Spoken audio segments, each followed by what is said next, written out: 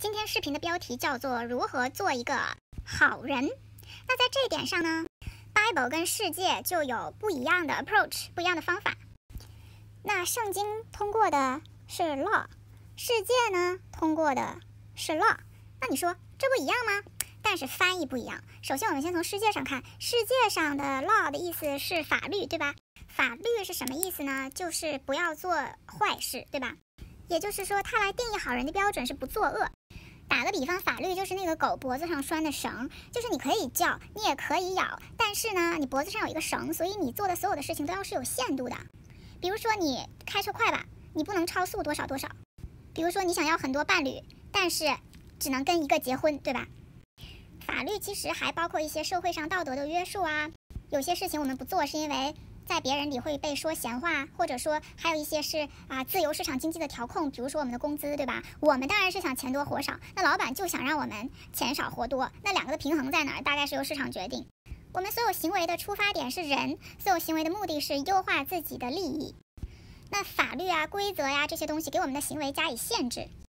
那我们再看一下圣经的 law 呢？其实它翻译成律是一个规律，或者圣经上叫它生命之灵的律，什么意思？我们把它理解为神放在人身上，让人去做好事的一种力量。也就是说呢，对圣经来说，好人做好人的方法是做好事。那它其实比这个法律更高级。比如说，法律就是你开快车，但是你不要撞倒老奶奶，对吧？那做好事就是说，OK，一个老奶奶摔倒了，我把她扶起来，尽管有危险，我也要扶起来。那神让人做好事的方法就是运用生命之灵的律。那举个例子，重力大家都知道吧？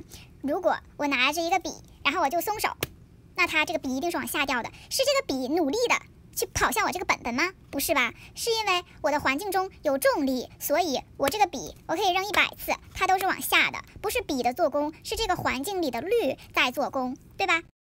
生命之灵的律在功效上的表现是让人不由自主的、自然做好事的一种驱动力。所以你有了生命之灵的律之后，你不用使劲的去说我要我不想对我的伴侣好，可是我是个好人啊，所以哎呦我好烦他呀，我也得陪他，这就是使劲。但是你有了生命之灵的律，就是啊，我真的好爱我的伴侣，我为他做一些事情，我陪伴他，我真的非常开心。所以这对我来说是一件很自然的事情。所以有了生命之灵的律，做好事是一件自然的事情。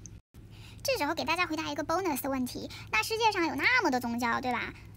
它这不都是让人行善的吗？也就是说，宗教你这个人比较高级，是因为你做好事，对吧？世界上的人或者遵循法律的人，我只是说我不做坏事，但没有规定我做不做好事。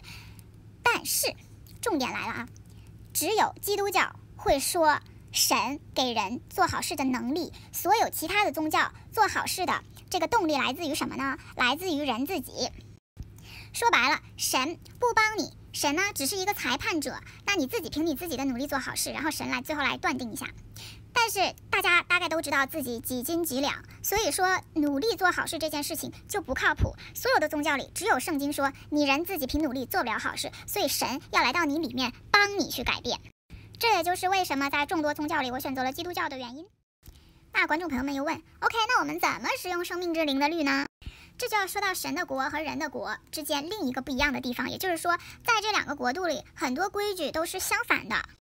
比如说，在我们的世界嘛，那权力高的当然就是被权力低的人服侍，这很正常，对吧？但是在神的国里，地位越高的人就要去服侍。基督是地位最高的，是神的儿子，对吧？是王，但是他给使徒洗脚了。我们可以把神的国度想象成一个外星，就是。你在宇宙里，那人就飘了，对吧？重力就不好使了。所以好多我们觉得嗯很稀松平常的事情，在神的国里其实是反着来的。那运用生命之灵的律，就是这一个反着的例子。问大家一个问题：公义和是谁？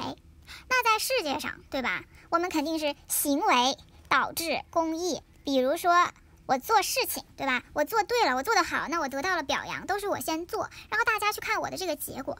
但是在神的国啊，公义。是导致行为的，这就是说呢，神先判定我们公义，我们因为公义先得了神的赞许，之后我们的行为就有所改变。那实行起来又是什么意思呢？圣经上有一些 practice 非常的重要，一个叫做 believe，就是相信；一个叫做 speak，或者是 claim，就是宣告；一个就是 praise，也就是说赞美。那在实行起来的意思就是说，我们在任何出现行为改变之前，我们就说感谢主，你用基督的宝血遮盖了我，你让我变成公义的，我是你的孩子。然后感谢你把各样的恩典和力量赐给了我，在人看来做不成的事情，在神看来都能做成。感谢主，我在主里一无所缺。就是先这样的相信，并宣告并赞美。这样就有点类似于下单，你知道吧？你要先把这个单下了，然后这个快递才能到你的手上。那在神的国里，我们是先宣告结果，并且因为这个结果赞美神，那这件事情才会真正的实化或者出现在我们的生活里。大家可能觉得神这么做的方式很奇怪，但是跟大家说没有什么奇怪的，这非常类似于人类哺育幼崽，对吧？那你的小 baby，对吧？他做了什么值得你挣得你的爱？他是赚钱了吗？他是考一百分了吗？你为什么对你的小 baby 这么好？你是先把很多很多的爱给你的小 baby，然后你先把很多很多的祝福送给人类的幼崽，对吧？然后如果父母在他幼儿的时候给他足够多的爱和肯定和关怀，然后这个小孩长大了之后，他心理比较健康，他可能活出来一个比较好的人生。也就是说，父母不是先等我，先等你活了一个好的人生，我再爱你，而是先给了爱，然后这个爱致使孩子可以活出很好的人生。所以我觉得我们的主还是很有智慧的，此处应该有掌声。所以做基督徒有一个大忌。那就是认为自己不好，所以逃避神。你看我这种人，神怎么会保守我？你看我这个德行，神怎么会爱我？你看我这样，我根本不值得爱。哎呀，我自尊低呀。